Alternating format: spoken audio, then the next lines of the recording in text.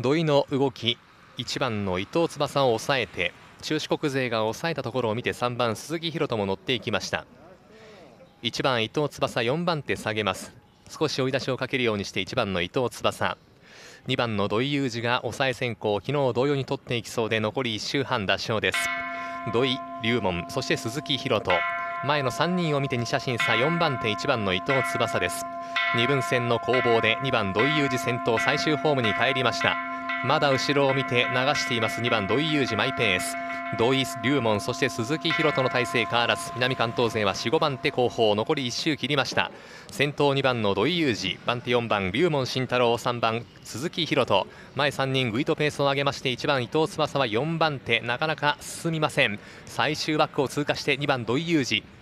番手は4番の龍門慎太郎そして3番手今日はまくり追い込みか3番鈴木宏と内は5番の山崎ですが前は2番土井裕二先頭かゴール。龍門慎太郎土井裕二最後は中四国勢ゴール前勝負。